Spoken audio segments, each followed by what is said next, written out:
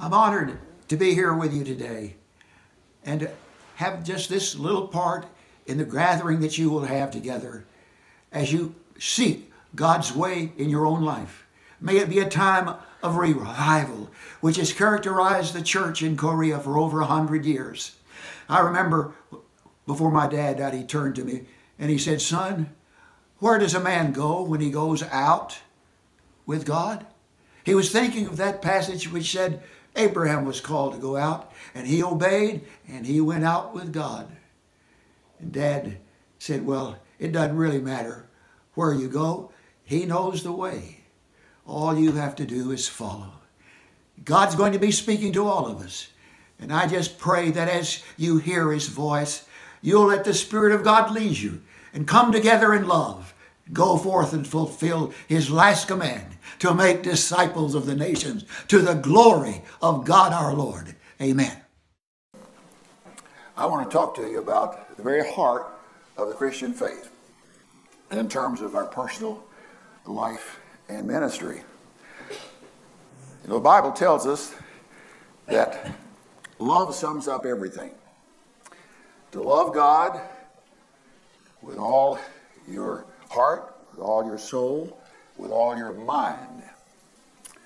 And the second is the second aspect is to love your neighbor as you love yourself.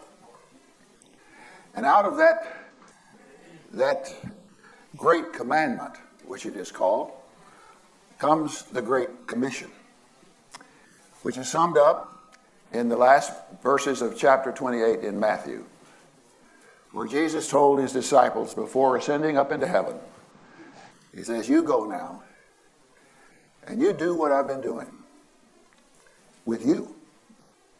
You go and make disciples of all nations, baptizing them in the name of the Father, the Son, the Holy Spirit, and teaching them to obey all that I've commanded you. And I'll be with you all the way even to the ends of the earth. Now, actually, before he gave the command, though, he made an affirmation of his own life and power by saying, All authority, all power belongs to me in heaven and earth. And I want you to keep that in mind because the one who sends us is the one who created the world, who has authority across, across every dominion. And that authority reaches across the whole earth to the farthest star. He's the Lord God, Jesus Christ, who died for our sin on the cross and rose again from the dead, ascending back into heaven to take his place at the right hand of God. Love sums it all up. And because of love, we have an obligation. When God created us, He made us in His very image, we're told, in His likeness. God's a person. That's brought out clearly when we recognize that He is expressed as the Father, the Son, and the Holy Spirit. He's relational. And He made us with a mind so that we could know Him, and with a will so that we could resolve to love Him. Love is a choice. And that choice is going to determine everything that we do in this world. So we look at Jesus to see what He's actually commanded us to express how we love Him.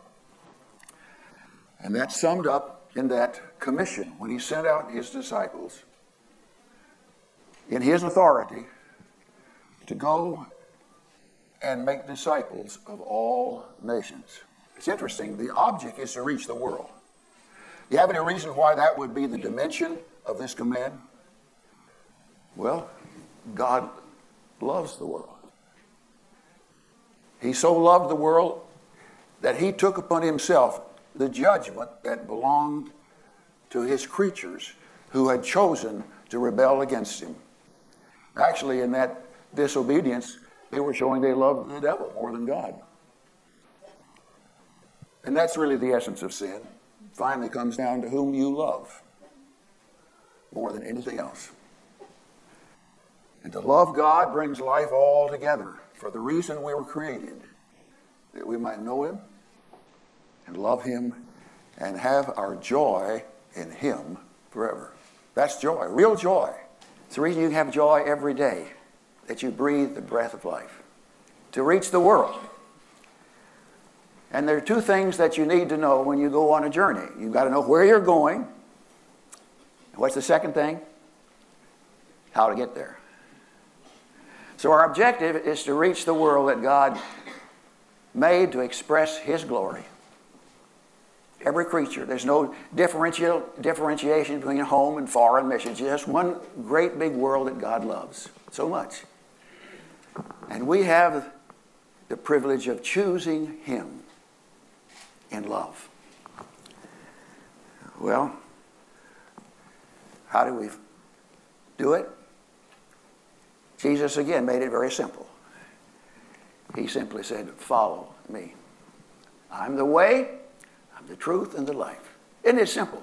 When you come down to everything written in this book, he made it so simple that even a child can understand it. It's love. And when that love is fulfilled, you have joy unspeakable and full of glory. Now, we are told in the Bible that Jesus came in the world not to be served, but to serve, and to give his life a ransom for many. You see, he had made in advance the choice, because of his love, even though we had rebelled against God and had brought judgment upon ourselves, and the judgment of sin is death. He accepted that judgment himself for us. No one else had that authority. That's how much God loved us. And that's the love that we embrace when we realize He loved us that much. But we reflect that love in the way that we do what He did for us. We did not come here to be served, He said, we come to serve. And the cross had already been in the mind of Christ before the stars were fixed in place. And that is spelled out every day that he lived. And those that began to follow him, and that was the invitation just follow me. They began to ex- dis- discover for themselves the infinite dimensions of love that's unspeakable. Well, that's a life worth living. So he went around doing good, healing the sick, opening the eyes of the blind, healing those that were possessed of demons, teaching the gospel of the kingdom, and all through it, exalting the Lord God Almighty. People were drawn to him because they could see he cared about them. He loved them. And if you are known as a servant that responds to the need of people that you see around you, you're going to get their attention.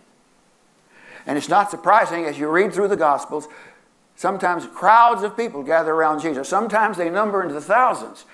But that's not the general picture we get of Jesus. Reading the Gospels, he's talking to people along the way, wherever he finds them. He is ministering to people as a servant to go and replicate now in our lives the way Jesus lived every day. And there will be exceptional times when we will have great opportunities, perhaps to reach the crowds, but most of us are going to be willing just to live every day where He places us. God never makes a mistake. We're a servant.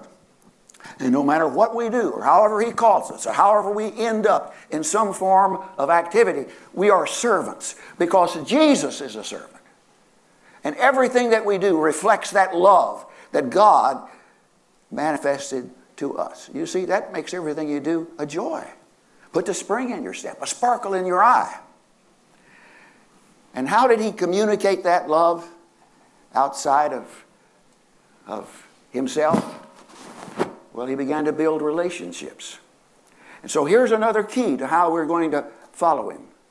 Serving people, showing them that we love them, brings people close to us to want to know more about us? What makes us different? And the relationships that we have with others will give us the opportunity to communicate how much God loves us. And that's the essence of discipleship. The word disciple means learner. Isn't that interesting? Here at a university, you're learning all the time. Well, that's what Jesus was doing, calling people to follow him, and they are called disciples, learners. You never stop learning when you're around Jesus. Whether you're listening to him preach in a crusade or whether you're just sitting around the table talking with him like you did most of the time. You're a learner. And that learning will continue all through life. That's why my life is exciting. Where is the greatest place to learn? You learn more there than you learn at a university. Where do you learn most of your lessons in life?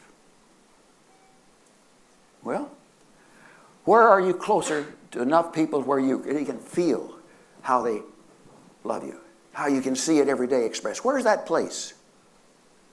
It's at home, isn't it? It's the family. So God did not create us by ourselves to live eternally. That way, He created us as a man and a woman, created a family, and in that context, we get our greatest education. You don't have to get a PhD in psychology or leadership to recognize we learn growing up, and that's the greatest education we'll ever have. And Jesus is creating that learning environment by calling a few people, usually one, two, three at a time. And that's where he invested most of his life. You don't have to have a crowd. Jesus spent most of his time on earth with a dozen men. And it should help us all to realize wherever we are placed, whether it's one or a thousand, we have an opportunity. But the smaller the group, the greater the opportunity for learning. That makes sense, doesn't it? So, making disciples is just like raising kids. And that's what you're doing because you're learning now how to practice the lessons that you've learned growing up. You say, Well, I didn't come from a perfect home. None of us have. But most of us here have had some real heartbreak in our families. And I've had students tell me, Preacher, what you're talking about doesn't make sense to me because you don't know how I was abused, how I was rejected, how I was pushed aside growing up. Then I say, Well, can you identify what went wrong? They have to admit, yes, I, I experienced it. I said, then if you will learn from your mistakes, you'll become the smartest man that ever walked on this earth, beside Jesus. You've already seen enough failure and enough suffering to learn what you really want to be like. So, in this context, with a few people, building on what you've already learned, look at Jesus and you will see how a perfect life unfolds. He never made a mistake. So that's what we're doing. He's not only our Lord, He is our guide. And He shows us how our life can be filled with love. That's why this little book I call the Master Plan is an attempt just to see some of these principles unfold in the Bible.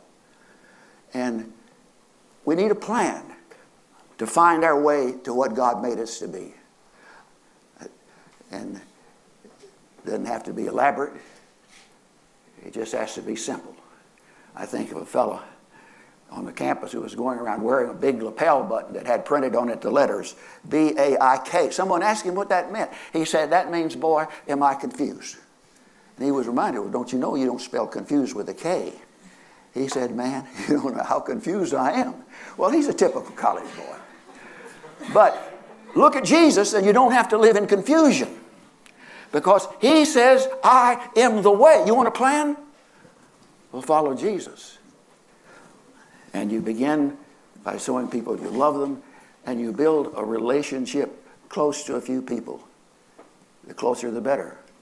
The smaller the group, the greater the opportunity for learning. And look at the people that Jesus were attracted to, or how they were attracted to him. They're not the most distinguished group in the beginning that you would recognize. Uh, they don't have college degrees in the beginning, so far as we know. Uh, none of them are members of the Levitical priesthood. That surprises you, doesn't it? These were basically ordinary people. Some were fishermen, some were businessmen. One of them was a tax collector of all. Can you imagine that, that conglomeration of, he, of dozen men that he finally chose to be close to himself? Well, all of us have a few people like that that you can be relating to now. You could call them your peer group. I think a fellow down in my home country in Texas who was arrested for horse stealing, and he was asked by the sheriff, did he want to be tried by the judge or by a jury of his peers? He looked confused and he says, Peers, who on earth is that? And they explained, well, that means people just like you. And he said, Well, I'll take the sheriff. I don't want to be tried by a bunch of horse thieves. Now, if you'll look around, you'll see your crowd where you're already known, where you live every day. And in that context, you're going to have your greatest opportunity to change the course of history. Just a few who are close with you. And in that relationship, begin to unfold in your life what you understand about Jesus. That's all you have to do. How it is. Of course, we come to Christ when we realize we are lost and undone. We're sinners. We confess it in true repentance, turning from it.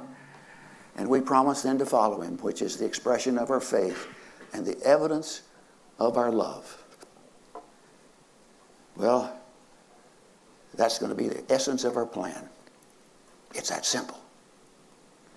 But these people that are following you, they need to learn how to communicate what they have learned to those that are closer to them, to answer their questions, to explain what you really want out of life.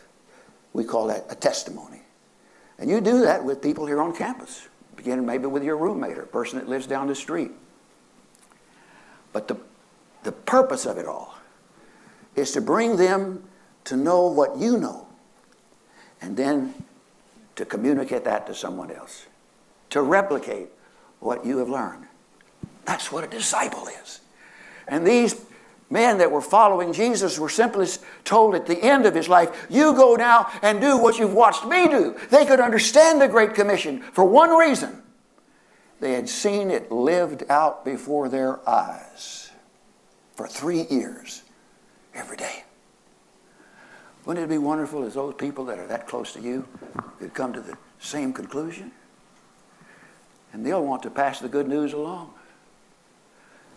And as it is repeated in one person after another, someday through reproduction, the world will have opportunity to hear about the love of God.